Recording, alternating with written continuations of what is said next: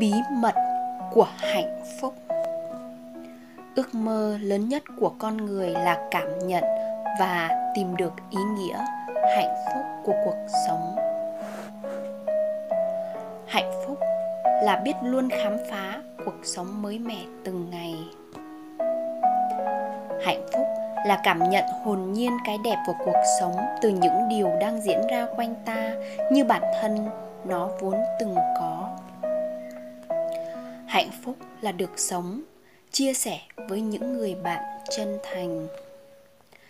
Hạnh phúc là có một tâm hồn trong sáng, một trái tim thuần khiết, không vị kỷ, ghét ghen. Hạnh phúc là biết mỉm cười với chính mình, nâng đỡ người khác chứ không phải chế giễu họ. Hạnh phúc là tìm ra được giá trị niềm vui được cho hơn là chỉ muốn nhận. Hạnh phúc là sống vị tha và biết nhìn nhận lỗi lầm để bước tiếp sau những lần vấp ngã. Hạnh phúc là biết cách chế ngự cái tôi và cái của tôi khi cần thiết.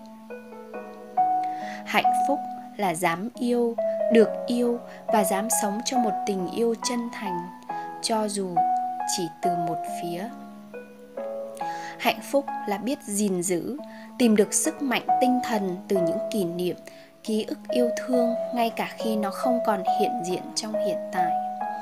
Hạnh phúc, tìm được đôi khi không chỉ những nụ cười mà còn là giọt nước mắt trên bờ vai tin cậy.